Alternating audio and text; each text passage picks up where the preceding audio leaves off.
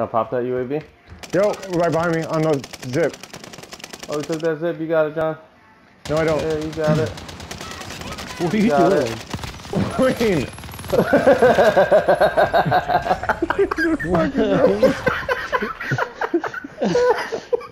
I was watching Wayne. He, You was- it. he was following the guy the whole time with his gun. You're an asshole. I did not have it. I choked.